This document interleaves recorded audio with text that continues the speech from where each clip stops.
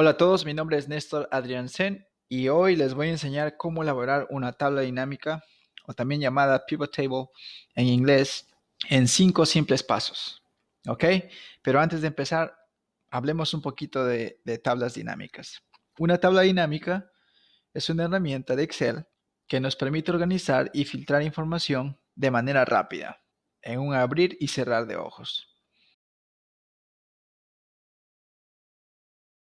Para este ejemplo, lo que vamos a hacer es usar data real y pública.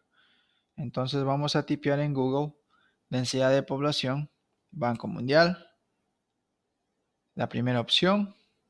En la parte derecha de su pantalla hay un documento en Excel. Lo bajamos el documento. Yo ya bajé el documento. Si ustedes quieren seguir el ejemplo paso a paso, les recomiendo que también lo bajen ustedes van a tener un documento muy similar a este de acá. Nos interesa la primera hoja de trabajo. Como les mencioné al inicio, vamos a hacer esta tabla dinámica en cinco pasos. El primer paso es limpiar datos. Lo que se hace en este paso es buscar por información irrelevante, celdas en blanco, información duplicada o alguna otra información irrelevante que tengamos.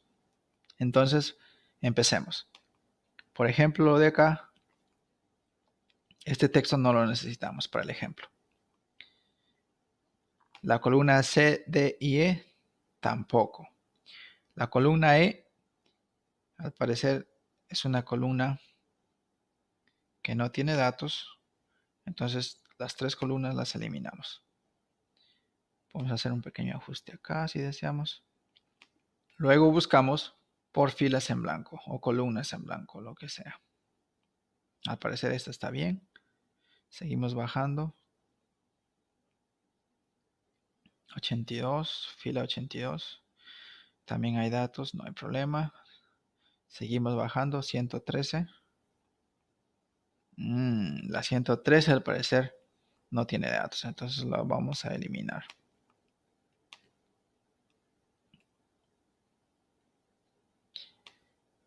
Hay un país, Luxemburgo. Vamos a ver. Tiene datos, lo dejamos. 208. Fila 208, al parecer no tiene datos. Sudán no tiene datos, lo vamos a eliminar.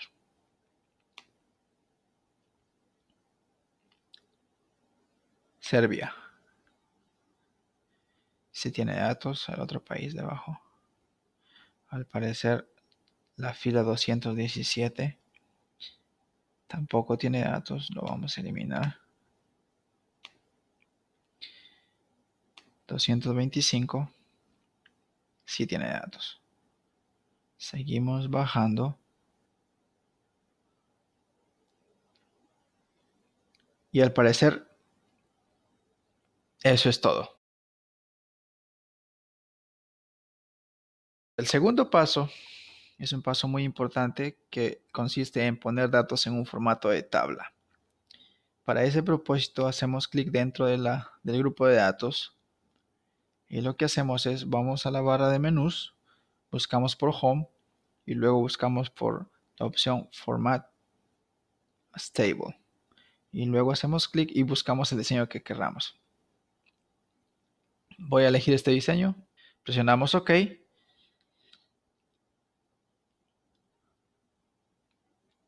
Y ya está. Listo. El tercer paso es un paso muy crítico. En este paso lo que se hace básicamente es convertir columnas a filas. Y vamos a usar la herramienta que se llama Power Query. ¿Ok? Algunos también lo llaman despivotar columnas. Entonces, hay que tener en cuenta eso. Antes de entrar al tercer paso, hagamos algo bien práctico. Vamos a suponer que esta tabla ya está lista para insertar la tabla dinámica. Hacemos clic dentro de la tabla, vamos a insertar y luego buscamos la opción que dice Pivot Table. Automáticamente lo selecciona y luego nos ubicamos en la parte derecha y vamos a ubicar esta tabla dinámica en la misma hoja de trabajo que es Existing Worksheet y luego vamos a seleccionar la celda que está en la misma hoja. ¿Ok? Luego bajamos el país a las filas y luego vamos a seleccionar años a las columnas. Ah, se dan cuenta, aparece ahí un error. Dice que el reporte de la tabla dinámica no alcanza en la hoja de trabajo. Entonces ahí hay un error con el tema de años. Cerramos y regresamos. ¿Ok? Por eso es que es importante el tercer paso. ¿Verdad? Entonces, para el tercer paso, lo que se hace, nos ubicamos dentro de la tabla y luego vamos a Data y luego seleccionamos la opción From Table. Automáticamente aparece una nueva ventana que es básicamente el Power Query Editor. Ya nos dimos cuenta que tenemos que despivotar la columna que tiene años, ¿verdad? porque salió un error, ¿verdad? Anteriormente. Entonces seleccionamos todos los años. Luego vamos a Transform. Y luego buscamos la opción que dice and Pivot Columns. Y ahí lo tiene. Se ve más organizado, más ordenado. Inclusive, acá le podemos cambiar, le podemos llamar periodo. Y acá le podemos llamar densidad poblacional si queremos, ¿verdad? poblacional. ¿Ok? ¿Listo? Luego vamos a Home y luego buscamos la opción que dice Close and Load. Cerramos. Automáticamente nos arroja la nueva tabla organizada en una, hoja, en una, en una nueva hoja de trabajo. ¿Ok? Inclusive le podemos cambiar de nombre. Lo vamos a llamar Pivot Table. ¿Ok? Entonces, ahora ya tenemos esta tabla lista para insertar la tabla dinámica.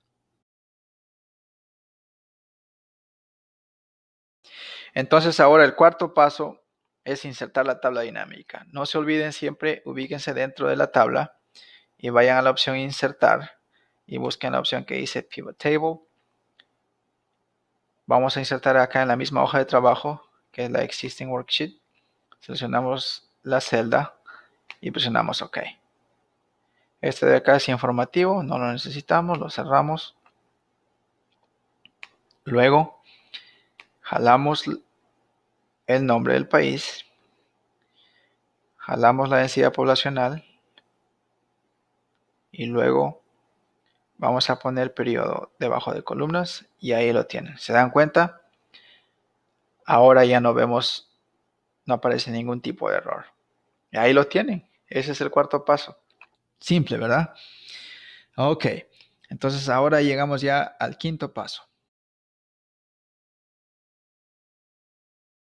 El quinto paso básicamente es personalizar la tabla dinámica. Lo que se hace acá es, por ejemplo, darle color a la tabla. Vamos a suponer que queremos tener el mismo color verde.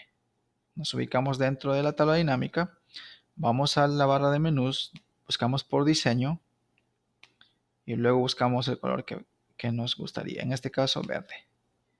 ¿Se dan cuenta? ¿Qué más? Vamos a elegir acá un país. Vamos a suponer que queremos buscar Estados Unidos. ¿Se dan cuenta? Ahí está. Presionamos OK. Y vamos a suponer que me interesan los cinco últimos años.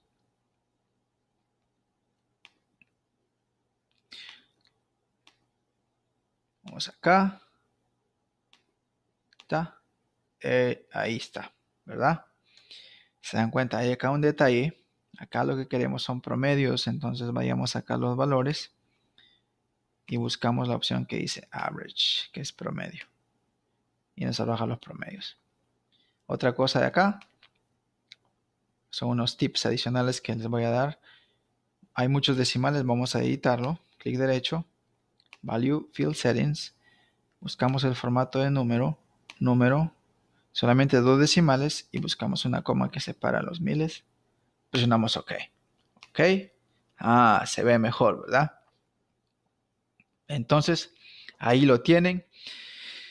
Ha sido un proceso un poquito largo porque son datos reales, tal cual ustedes van a encontrar en su lugar de trabajo. La información siempre va a ser así y ya queda la habilidad del, del analista, ¿verdad? Para darle forma. ¿Ok? Gracias por ver este video. Si les gustó, si encontraron información relevante, por favor, denle un like a este video y compartan con sus amigos. ¿Ok? También no olviden de suscribirse. Voy a seguir publicando videos de naturaleza en inglés y en español. Nos vemos la próxima vez. Gracias.